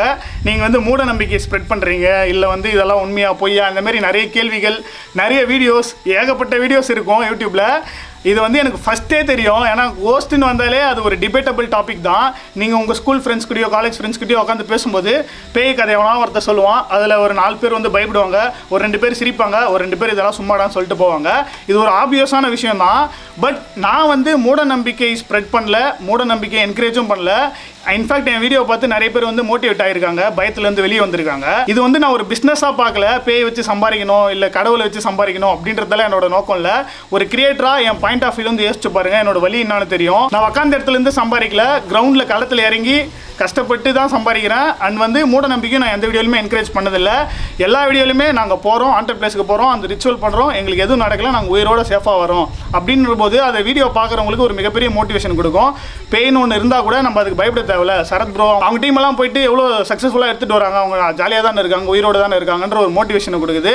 அண்ட் அதையும் தாண்டி இது வந்து நீங்கள் யூடியூப்லேயோ இல்லை வெளியே எங்கேயோ பார்த்தீங்கன்னா கூட கடவுளை வச்சு கோடிக்கணக்கில் பிஸ்னஸ் பண்ணுறாங்க ஒரு சிலையை வச்சு அதுக்கப்புறம் அந்த பேயை வச்சு பேயை ஓட்டுறேன் பில்லி சுனி வைக்கிறேன் மாந்திரிகம் பண்ணுறேன் அப்புறம் ஆட்டோமேட்டிக் ரைட்டிங் நான் யூடியூப்பில் கூட சில வீடியோஸ் பார்த்தேன். நீங்கள் வந்து என்னை காண்டாக்ட் பண்ணுங்கள் என் சேனலில் வந்து ஜாயின் பண்ணுங்கள் இதெல்லாம் நான் பண்ண வைக்கிறேன் அந்த மாதிரிலாம் சொல்லுவாங்க. அது வந்து உங்களுக்கு சரின்னு பட்டா இதுவும் சரிதான். சில பேர் என்ன பண்ணுவாங்க இதுலலாம் எந்த விதமான நம்பிக்கை இல்லைன்னுவாங்க. பட் ஆனால் அவங்க வந்து கோயிலில் போயிட்டு மணி அடிப்பாங்க உண்டியில் காசு போடுவாங்க. எனக்கு என்னன்னா ஒருத்தருக்கு வந்து எல்லாருக்குமே ஒரு ஒரு பிலீஃப் சிஸ்டம் இருக்கும். நீங்கள் வந்து உங்கள் ஃப்ரெண்ட்ஸ்லேயோ உங்கள் ஃபேமிலியில யாராவது ஒருத்தர் சொல்லுவாங்க நான் வந்து ஒரு நைட் எனக்கு இது மாதிரி ஆயிடுச்சு பேயை பார்த்து பயந்துட்டேன் ஏதோ ஒரு ஏதோ ஒன்று நடந்துச்சு எனக்குள்ள அப்படின்லாம். உண்மை என்னன்னா அந்த விஷயம் உங்களுக்கு நடக்காத வரைக்கும் அதில் உங்களுக்கு நம்பிக்கை இருக்காது. சட்டைன் பிலீஃப்ஸ் ஒரு ஒருத்தருக்கு இருக்கும். நீங்கள் என்ன தான் வீடியோ போட்டாலும் இதெல்லாம் உண்மை இல்லைன்னு சொன்னாலும் அவங்களோட பிலீஃப் சிஸ்டம் மாற போகிறது இல்லை நீங்கள் திருத்தினா ஒரு நாட்டியே தான் திருத்தணும். இப்போ என் வீடியோ நீங்கள் இல்லை இதெல்லாம் சும்மான்னு சொல்கிறதுனால அவங்களோட நம்பிக்கை போயிடுன்றதெல்லாம் அர்த்தம் கிடையாது. நான் நிறைய முறை தெளிவாக சொல்லியிருக்கேன். என்னோட வீடியோ வந்து ரிசர்ச் பர்பஸ்க்காக எடுக்கிறது கிடையாது. இது வந்து ஒரு ஃபேமிலியாக உட்காந்து பார்க்குறாங்க ஃப்ரெண்ட்ஸோட உட்காந்து பார்க்குறாங்கன்னா ஒரு த்ரில் ஃபீல் குடிக்கணும் ஒரு அவங்களுக்கு வந்து ஒரு என்டர்டெய்னிங்காக இருக்கணுன்ற நோக்கத்தில் தான் இது எடுக்கிறோம் நாங்கள் இப்போ யோசிச்சு பாருங்கள் நீங்கள் வந்து நான் ஒன்றரை மணி நேரம் வீடியோ போடுறேன். அதில் கண்டென்ட்டே இல்லைனா யாராச்சும் பார்ப்பீங்களா ஸோ இதை வந்து நீங்கள் தயவு செஞ்சு புரிஞ்சுக்கோங்க. தேவையில்லாமல் நெகட்டிவிட்டியை வந்து ஸ்ப்ரெட் பண்ணாதீங்க. அண்ட் ஒன் மோர் திங் என்னன்னா ஒரு சில சேனல்ஸ்லாம் நம்மளை டார்கெட் பண்ணி வீடியோ போடுறாங்களாமா எனக்கு வந்து சிரிப்பாக தான் இருக்கும். ஏன்டா நான் மூணு வருஷம் ஒரு கோட்டையை கஷ்டப்பட்டு கட்டியிருக்கேன். அதில் இருக்க ஒரு சின்ன செங்கல் கூட உங்களால் அழிக்க முடியாது. நீங்கள் எத்தனை வீடியோ போட்டாலும் நான் அதை பார்க்க கூட மாட்டேன். அதை பார்த்து ஜெகன் வேணா நாலு குசு வேணா விட சொல்லலாம். அவ்வளோதான் வேற எதுவுமே அதை பற்றி பேசுறதுக்கு இல்லை. மொரோவர் என்னன்னா சப்போர்ட்டர்ஸ் எவ்வளோ வீடியோஸ் நீங்கள் போடுறீங்க? ஆயிரக்கணக்கான வீடியோஸ் இருக்கு யூடியூப்லேயே அது மட்டும் இல்லாமல் இது இல்லாமல் இன்ஸ்டாவில் எவ்வளோ மீம்ஸ் இவ்வளோ பேர் சப்போர்ட் இருக்கும்போது சப்போர்ட்டர்ஸ்க்கு ரீப்ளை பண்ணுறதுக்கே எனக்கு டைம் இல்லை. அப்படி இருக்கும்போது நான் ஏன் ஏட்டஸ்க்கு நான் வந்து ரீப்ளை பண்ணணும் ஸோ அதனால நான் என்றைக்குமே ஏட்டஸை கண்டுக்கவே மாட்டேன்.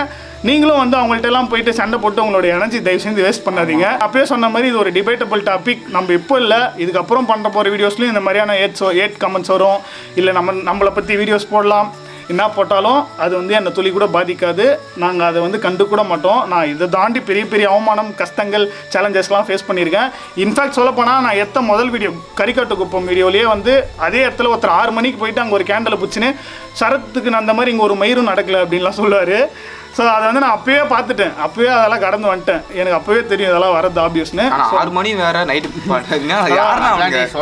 ஸோ அதெல்லாம் சொல்கிறோம் சொல்லிட்டு தான் இருக்க போகிறாங்க நம்ம வேலை நம்ம கோல் என்ன? அதை நோக்கி தான் நம்ம ஓடணும். எதுலையுமே நம்ம டிஸ்ட்ராக்ட் ஆகக்கூடாது. நம்ம ஒரு விஷயத்த நோக்கி போயின்னு இருக்கோம். அதை தவிர்த்து வேறு ஏதோ வந்துச்சுன்னா நம்ம மைண்ட் செட் மாறும். நம்ம நினச்ச விஷயத்த செய்ய முடியாது. ஸோ அதனால தான் நான் எப்பவுமே ஃபோக்கஸ்டாக இருப்பேன் பாசிட்டிவாக இருப்பேன். ஸோ அவ்வளோதான் guys. சொல்ல வேண்டியதெல்லாம் சொல்லிட்டேன்னு நினைக்கிறேன். அண்ட் வந்து நான் ஸ்டார்டிங்கில் சொன்னேன் உங்களுக்கு ஒரு சீக்ரெட் சொல்ல போகிறேன் அப்படின்னு சொல்லிட்டு. எல்லாரும் கொஞ்சம் கனத்த இதயத்தோட இதை கே நீங்கள் கேட்டு தான் ஆகணும். சில பேர் வந்து கோச்சிக்கிட்டு கூட இருப்பீங்க. கோச்சிக்கு கோச்சிக்கு கூட செய்வீங்க. இப்போ நான் சொல்ல போகிற விஷயத்தை கேட்டு. எஸ் எனக்கு வந்து கல்யாணம் ஆயிடுச்சு எதுக்கு அவன் ஏத்த மாதிரி பண்றான் எல்லாம் மீன் பச்சதுக்கு அப்புறம் அவனா இரு. இது எடிட்டர் கட் பண்ணிடுவாரு. ஆக்சுவலாக நிறைய பேருக்கு வந்து இது ஷாக்கிங்காக இருக்கும். என்னடா திடுதிப்புன்னு இப்படி குண்டு தூக்கி போடுறானேன்னு சொல்லிட்டு சொல்ல முடியாத சுச்சுவேஷன் கைஸ் அதனால தான் சொல்லலை. வேணும்னே சொல்ல வேணாம்லாம் இல்லை. பர்சனல் ரீசன்ஸ் அது இப்பயும் என்னால் வந்து ரிவீல் பண்ண முடியாது. சில பர்சனல் ரீசன்ஸ்னால மட்டும்தான் அது இவ்வளோ நாள் வந்து நான் ப்ரைவசியாக வச்சுட்டு இருந்தேன். இப்போ கூட வந்து அவங்கள வந்து இன்ட்ரோலாம் பண்ண முடியாது. அதுக்கான டைம் வரும்போது நான் வந்து அவங்கள காட்டுறேன். எனக்கு தெரியும் நிறைய க்ரஷஸ் வந்து இப்போது சாபம் விடுவீங்க. என்னை பார்த்து தயவு செஞ்சு எங்களை பார்த்து சாப விடாதீங்க. உங்களோட பிளெஸிங்ஸ் தான் எங்களுக்கு தேவை. கண்டிப்பாக இதை நீங்கள் புரிஞ்சுப்பீங்கன்னு நினைக்கிறேன். எவ்வளோ விஷயத்த வந்து எனக்காக நீங்கள் புரிஞ்சுக்கிட்டு எனக்காக சப்போர்ட் பண்ணுறீங்க இந்த விஷயத்தையும் நீங்கள் வந்து புரிஞ்சுக்கிட்டு என்னை ப்ளஸ் பண்ணணும்னு நான் வந்து வேண்டிக்கிறேன். நிறைய பேர் ஆல்ரெடி கமெண்ட் பண்ண ஆரம்பிச்சிருப்பீங்க கங்க்ராச்சுலேஷன்னு ரொம்ப ரொம்ப தேங்க்ஸ் உங்கள் அன்புக்கு. அண்ட் நான் சொன்ன மாதிரி க்ரஷஸ் தயவு செஞ்சு என்ன என்னோட ஆர்ட்டை க்ரெஷ் பண்ணுறாதீங்க உங்களோட அன்பு எனக்கு எப்பயுமே தேவை. எனக்கு கல்யாணம் ஆயிடுச்சுன்றதுக்காகலாம் வந்து என் சேனல் டெவலப் ஆகாது அப்படின்றதெல்லாம் அர்த்தம் கிடையாது. ஏன்னா நம்மளது வந்து கண்டென்ட் பெஸ்ட்டு சேனல் ஸோ நம்ம கண்டென்ட் நல்லா இருந்தால் நமக்கு சப்போர்ட் வரப்போகுது. ஸோ இதை வந்து யாரும் பெருசாலாம் எடுத்துக்காதீங்கன்னா கல்யாணம் ஆயிடுச்சு அந்த மாதிரிலாம் அந்த வந்து திட்டமும் செய்யாதீங்க சொல்லலன்ட்டு. இதுக்கப்புறம் வரப்போகிற வீடியோஸில் நான் அதை பற்றி எலாபரேட்டாக ஃபுல்லாக எக்ஸ்பிளைன் பண்ணி ஒரு வீடியோ போடுறேன். அப்போ வந்து நீங்கள் புரிஞ்சுப்பீங்க. இப்போ வந்து தயவுசெய்து திட்டாம எங்களை வாழ்த்தி ஒரு நாலு அஞ்சு வார்த்தைகளை கமெண்ட்ல சொல்லுங்க. நிறைய பேர் வந்து மெசேஜ் எல்லாம் வந்து நிறைய பேர் ஃபோட்டோஸ்லாம் அனுப்பிச்சு நீங்கள் துரோகம் பண்ணிட்டீங்க கூட நீங்களே சொல்லி அப்படின்னு. ஸோ அதனால தான் நாங்கள் வந்து சொல்லலை. உங்ககிட்ட சொல்லாமல் யார்கிட்ட சொல்ல போகிறோம் ஸோ இந்த ஒன் மில்லியனில் வந்து சொல்லிடலாம். ஸோ அதுக்காக நீங்களே வந்து ஃபோட்டோஸ் அனுப்பிச்சிட்டு இந்த மாதிரி பண்ணிட்டோம் அந்த மாதிரி பண்ணிட்டோம்லாம் தயவு செஞ்சு கேட்காதீங்க. சப்போஸ் அதை மீறி நாங்கள் சொல்லாமல் பண்ணியிருந்தா நாங்கள் சாரி ஏன்னா நாங்க வெளில சொல்லனா அதுல இருக்க. பிரச்சனை என்னன்னு நீங்க புரிஞ்சுக்கோங்க. எனக்கு சொல்லக்கூடாதுன்ற ஆசைலாம் இல்ல. அது வழி என்னன்னு எனக்கு தெரியும். ஸோ வந்து அந்த டைமில் நம்ம வந்து சொல்லவும் முடியாது. சொல்லுற டைமில் அதோடைய கடும் பாதிப்பு எப்படி இருந்துச்சு நல்லாவே தெரியும். ஸோ அது தயவு செஞ்சு யாரும் வந்து ஹர்ட் பண்ணாதீங்க. கமெண்ட்லாம் போட்டு ப்ளீஸ் புரிஞ்சுக்கோங்க. ஏன்னா.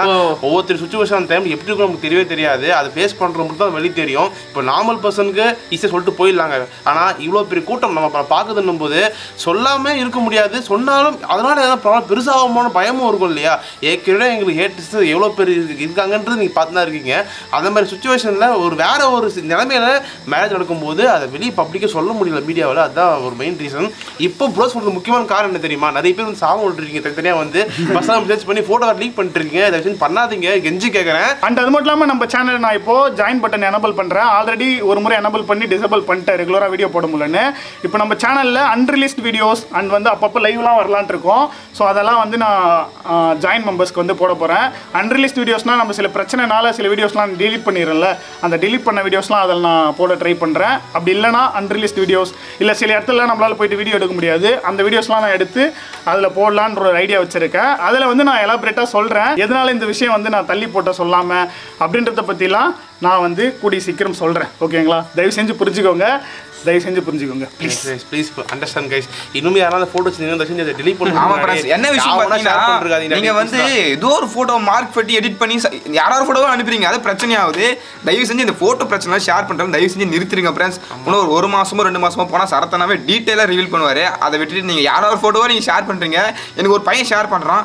அண்ணா அது அவங்க சரத்தன ஒய்ஃபா டேய் அது வேற யாரோ பக்குன்னு ஆயிடுச்சு. ஸோ இந்த மாதிரி இது இல்லீகலான விஷயங்களும் நிறைய பேர் பண்ணிட்டு இருக்காங்க. அது ஏட்டஸ்ட் தான் நல்லா தெரியுது. ஸோ அது அந்த ஒரு ரீசனுக்காக தான் நான் சொல்கிறேன் தயவு செஞ்சு எந்த ஒரு ஃபோட்டோவும் நம்பி எதுவும் ஷேர் பண்ண வேண்டாம் அஃபிஷியலாக இவரே சொல்லுவார். ஸோ கொஞ்சம் வெயிட் பண்ணுங்க ஃப்ரெண்ட்ஸ் அண்ட் அது மட்டும் இல்லாமல் நம்ம சப்ஸ்கிரைபர்ஸ் நாங்கள் வெளில போகும்போது எங்கேனாச்சும் தேட்டருக்கு போகும்போது சாப்பிட போகும்போது இந்த மாதிரி நிறைய இடத்துல எங்களை வந்து ஸ்பாட் பண்ணி செல்ஃபிலாம் எடுத்துகிட்டு நல்லா சூப்பராக பேசிட்டு போவீங்க. ரொம்ப ரொம்ப சந்தோஷமாக இருக்கும் உங்களை பார்த்து பேசுகிறதுல கண்டிப்பாக கூடிய சீக்கிரம் நாங்கள் மீட்டப் வைக்கிறதுக்கு பிளான் பண்ணிகிட்டு இருக்கோம். இப்போதைக்கு இல்லை ஒரு டூ த்ரீ மந்த்ஸ் போகட்டும். கண்டிப்பாக மீட்டப் வச்சு நம்ம நேரில் பார்க்கலாம். நேரில் உங்கள் எல்லாரையும் பார்த்து கட்டி பிடிச்சி பேசணும்னு ஒரு ஆசை இருக்குது ஏன்னா நீங்கள் கமெண்ட்டில் அந்த சொல்கிற யாருங்க சொல்லுவாங்க? சொந்தக்காரன் கூட இந்த டைமில் காலை வாரி விட தான் பார்க்குறான் யாருனே தெரியாத ஏதோ ஒரு மூலையில் இருந்துட்டு எனக்காகவும் எங்கள் டீமுக்காகவும் அவ்வளோ ஒரு blessings அவ்வளோ ஒரு மோட்டிவேஷன் சப்போர்ட் இதெல்லாம் எவ்வளோ காசு கொடுத்தாலும் வாங்க முடியாது. நான் யூடியூப்பில் நிறைய பேர் கேட்பாங்க எவ்வளோ சம்பாதிக்கிறீங்க? அப்படின்னு. நான் வந்து எவ்வளோ சம்பாரிச்சேன்னு சொல்ல முடியல. ஆனால் நிறைய நல்ல மனசை வந்து நான் சம்பாரிச்சிருக்கேன். நிறைய நல்ல உள்ளங்களை சம்பாரிச்சிருக்கேன். அதுதான் வாழ்க்கையில் ஒரு பெரிய விஷயமா நான் கருதுறேன். அண்ட் அது மட்டும் இல்லாமல் கொஞ்ச நேரத்துக்கு முன்னாடி இவங்க வந்து எனக்கு சர்ப்ரைஸ் பண்ணாங்க. அந்த வீடியோஸ் வந்து அடுத்து வரப்போகுது அந்த வீடியோ அந்த வீடியோவில் கொஞ்சம் எமோஷனல் ஆகிட்டேன் நான். நான் நினைக்கல இந்த அளவுக்கு சர்ப்ரைஸ் பண்ணுவாங்கன்னு சொல்லிட்டு அந்த வீடியோஸும் பாருங்க. இந்த வீடியோ எவ்வளோ பெருசு போயிருக்குன்னு எனக்கு தெரில முடிஞ்ச அளவுக்கு நான் வந்து எல்லாத்தையும் share- போயிட்டு வீடியோ எல்லாத்தையும் ஷேர் பண்ணிடுறேன் நான் நம்புறேன். இந்த வீடியோ உங்களுக்கு பிடிச்சிருக்கும்னு நினைக்கிறேன். இந்த வீடியோ பிடிச்சிருந்தா லைக் பண்ணி ஷேர் பண்ணி சப்ஸ்கிரைப் பண்ணுங்க. நம்ம சேனலுக்கு ஒன் மில்லியன் வந்திருக்கும். இன்னும் கூட என்னால் அதை வந்து ரியலைஸ் பண்ண முடியல. ஒன் மில்லியன் வந்துட்டுன்றது. ஓகே கைஸ் அவ்வளோதான் பேச வேண்டியதெல்லாம் பேசிட்டோம்னு நினைக்கிறேன். இந்த வீடியோ வந்து இன்னொரு முக்கியமான விஷயம் என்னன்னா நான் வந்து எம்பிஏ படிக்கும்போது என்னோட கிளாஸ்மேட்ஸ் அவங்க எல்லாருக்கும் ரொம்ப ரொம்ப நன்றி. அந்த டைமில் வந்து ஐநூறு வியூஸ் போனாலும் அவங்க மட்டும் தான் எனக்கு கமெண்ட்ஸ் பண்ணி சப்போர்ட் பண்ணிட்டு இருந்தாங்க. அண்ட் வந்து என்னோட ஸ்கூல் ஃப்ரெண்ட்ஸ் அப்புறம் என்னோட இன்ஜினியரிங்கில் என் கூட படித்த ஃப்ரெண்ட்ஸ் அப்புறம் டிப்ளமோவில் என் கூட படித்த ஃப்ரெண்ட்ஸ் அது மட்டும் இல்லாமல் ஃபேஸ்புக் ஃப்ரெண்ட்ஸ் அப்புறம் என்னோட ரிலேட்டிவ்ஸ் நிறைய பேர் என்னதான் ரிலேட்டிவ்ஸ் சில பேர் வந்து நம்மளை பற்றி தப்பாக பேசினாலும் சில பேர் நிறைய பேர் வந்து எனக்கு சப்போர்ட்டிவாக தான் இருந்திருக்காங்க. அவங்களுக்கும் இந்த நேரத்தில் நன்றி. ஸோ யாராச்சும் நான் பேர் சொல்ல விரும்பல ஏன்னா மிஸ் மிஸ் பண்ணுறோம் யாராச்சும் பேர் சொல்ல ஆரம்பித்தா ஸோ உங்கள் எல்லாருக்குமே ரொம்ப நன்றி. இன்னி வரைக்கும் நான் எனக்கு தொடர்ந்து சப்போர்ட் பண்ணுறதுக்கு நீங்கள் இல்லைனா இந்த சேனலே இல்லை. உங்களோட சப்போர்ட் இல்லைனா இது இல்லவே இல்லை. பாசிபிளே இல்லை. ஸோ அவ்வளோதான் கைஸ் இதோட இல்ல இல்ல ஃப்ரெண்ட்ஸ் அவ்வளவுதான் இல்ல. இன்னும் நிறைய இருக்கு. ஸோ இது டியூரேஷன் ரொம்ப அதிகமா போயிடுச்சு. இப்போ நான் ஜாயின் பண்ணது நிறைய கதை இருக்கு. ஜெகனா சொல்ல வேண்டியது நிறைய ஏன்னா ஒரு நிறைய நிறைய விஷயங்களை வந்து நாங்கள் வந்து சுருக்கிட்டோம் ஆல்ரெடி ரொம்ப அண்ட் கொஞ்சம் டியூரேஷனுக்காக நிறைய பேர் கொஞ்சம் ஸ்பீடாகவும் பேசிட்டோம். இது நீங்க அஃபிஷியலாக நீங்க கேட்கணும்னு நினைக்கிறீங்களா? ஜாயின் பட்டில் ஜாயின் பண்ணுங்க. இந்த விஷயங்கள் நாங்கள் ஃப்ரீயா இருக்கப்பலாம் அப்பப்போ பேசி வீடியோ போஸ்ட் பண்ணுவோம். அப்பப்போ வந்து நாங்கள் மெம்பர்ஸ் ஒன்லி லைவ் அந்த மாதிரி எல்லாம் பண்ணலாம்னு இருக்கோம். ஸோ தொடர்ந்து சப்போர்ட் பண்ணுங்க. ஜாயின் எல்லாரும் ஜாயின் பண்ணியே ஆகணுன்றதெல்லாம் அவசியம் கிடையாது. உங்களுக்கு இன்ட்ரெஸ்ட் தான் ஜாயின் பண்ணுங்க இல்லைனா பிரச்சனை இல்லை. ஏன்னா அதில் எக்ஸ்க்ளூசிவ் கண்டென்ட்லாம் வரும்னு சொல்ல முடியாது. முடிஞ்ச அளவுக்கு ஒரு இன்ட்ராக்ஷன் மாதிரி தான் வச்சுக்கோங்களேன். எங்களுக்கு ஏதாவது ஒரு வகையில் நீங்கள் சப்போர்ட் பண்ணணும்னு நினச்சா நீங்கள் ஜாயின் பண்ணி சப்போர்ட் பண்ணுங்கள் நார்மலாக எப்பயும் போல் வீடியோஸ் ரெகுலராக பே வீடியோஸ் வரதா போகுது. அண்ட் அது மட்டும் இல்லாமல் நம்ம பேய் ஃபேமிலியில் இருக்க நிறைய பேர் மீம்ஸ் போட்டு தெறிக்க விடுறீங்க என்னை விட நீங்கள் எவ்வளோ சந்தோஷமா இருக்கீங்கன்னு நினைக்கும் போது ஐயோ உங்களுக்கு வந்து என்ன சொன்னாலும் பத்தாது. அந்த support இருக்குல்ல உங்களுக்கு வந்து வணக்கம்லாம் கிடையாது. உங்களுக்கு எல்லாம் ஃப்ளைங் கிஸ் தான் பயங்கரமா அப்படியே கேட்ச் பிடிச்சி வச்சுக்கோங்க. நீங்க போட்ட மீம்ஸ் அது எல்லாத்துக்குமே நாங்க ரியாக்ட் பண்ணி தனியா vlogs சேனல் ஒரு வீடியோ போடுறோம். ஏன்னா நீங்க அவ்வளவு எஃபோர்ட் போட்டு பண்ணிருக்கீங்க. என்னால இப்போ அதை பார்க்க கூட முடியல. அவ்வளோ நிறைய பேர் கால் பண்ணிட்டே இருக்காங்க. ஆமா. ஸோ அது வந்து தனியா பொறுமையாக நாங்கள் உட்காந்து எல்லாத்தையும் வந்து நாங்கள் ரியாக்ட் பண்றோம். உங்களுக்கும் ரொம்ப தேங்க்ஸ் அண்ட் நிறைய ஃபேன் பேஜஸ் இருக்கு. அந்த- அந்த ஃபேன் பேஜ் வச்சுட்டு இருக்க எல்லா நல்ல உள்ளவங்களுக்கும் எல்லா தங்கச்சிக்கும் எல்லா தம்பிங்களுக்கும் எல்லா அண்ணாக்களுக்கும் எல்லா அக்காக்களுக்கும் எல்லா. கிரஷஸ்களுக்கும் எல்லாருக்கும். ரொம்ப தேங்க்ஸ் ஏன்னா இவ்வளோ நாள் ஒன் மில்லியன் வரைக்கும் இந்த ஜேர்னியில் நீங்களும் என் கூட கண்டினியூ ஆயிருக்கீங்க. ஸோ எவ்வளோ நன்றி சொன்னாலும் உங்களுக்கு பத்தாது. தொடர்ந்து உங்களோட சப்போர்ட் எனக்கு தேவைப்படுது. ஐ நோ நீங்கள் கண்டிப்பாக இதை விட பெரிய சப்போர்ட் கொடுக்க தான் போகிறீங்க இதுக்கப்புறம் எங்களோட பெரிய பெரிய கனவுகளை நோக்கி நாங்கள் ஓட போகிறோம் ஒன் மில்லியன் வந்து ஒரு நாங்கள் ஒரு மைல்ஸ்டோனாக வச்சுருந்தோம். ஒன் மில்லியன் வந்தப்பறம் நம்ம நினச்ச விஷயத்தெல்லாம் செய்ய ஆரம்பிக்கலான்னு அதெல்லாம் அடுத்தடுத்து நாங்கள் அப்டேட் பண்ணுறோம் சில விஷயங்கள்லாம் ட்ரை பண்ணோம். சில காரணங்களால் அது அப்படியே நின்று போயிடுச்சு பட் இதுக்கப்புறம் நாங்கள் அதையும் வந்து எடுத்து செய்ய போகிறோம் நிறைய நல்ல நல்ல விஷயங்கள்லாம் இதுக்கப்புறம் நடக்க போகுது. நமக்கும் சரி நம்ம சேனலுக்கும் சரி. எல்லாத்தையும் வெயிட் பண்ணி பொறுமையாக பாருங்கள் சப்போர்ட் பண்ணுங்கள் அவ்வளோதான் கைஸ் இதோட முடிச்சிக்கலாம். மறுபடியும் அடுத்த ஒரு வீடியோவில் உங்களை வந்து மீட் பண்ணுறோம் இன்றைக்கே அந்த வீடியோ வந்து வந்தாலும் ஆச்சரியப்படுறதுக்கு இல்லை. இவங்க என்ன சர்ப்ரைஸ் பண்ண வீடியோ அந்த வீடியோ வரும் அடுத்து. அந்த வீடியோ மிஸ் பண்ணாமல் பாருங்கள் அந்த வீடியோவில் இன்ட்ரெஸ்டிங்காக நிறைய விஷயங்கள் நடந்துச்சு.